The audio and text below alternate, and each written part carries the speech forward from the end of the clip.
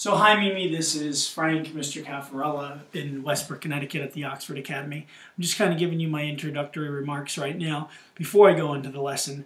Um, you know, we our kids graduated today, so there's no live action footage or audience to teach. So what I'm going to kind of do is just walk you through a lesson that I did with a group of ninth graders about two weeks ago on constitutional monarchy. Um, right now we are in my office, which is not a traditional classroom, though it has many things that a traditional classroom has. As you can see, there's a whiteboard. Sometimes we do one-on-one -on -one classes here, and you know I meet with my students. I have advisees, and we do advisory every week. And when I'm not teaching and prepping, I do it in here. And um, like I said, it's my home away. It's kind of a classroom and an office, you know. But, um, you know, just to kind of give you a sense of my space, which kind of is helpful to, you know, get a read on who I am maybe as a teacher. You know, I like to decorate things nice. I like to have relevant things around.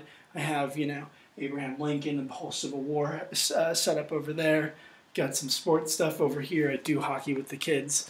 Uh, you know, my maps, of course. And uh, over here you can see my bookshelf you know, over there is my computer, and uh, you know, the window you probably can't see out of because of the glare, but it's the window that goes out to the soccer field, and there's the whiteboard where I'm going to kind of be putting my information and walk you through the lesson.